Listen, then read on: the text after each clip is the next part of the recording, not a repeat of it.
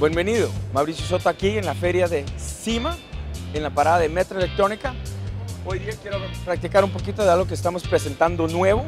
Abajo de la marca Access tenemos ahora soluciones que son bastante interesantes para el mercado global en tema de integración de cámaras de retraso o sources de video auxiliario a, a, vehículos que ya tienen radio de fábrica y los clientes no quieren cambiar el radio.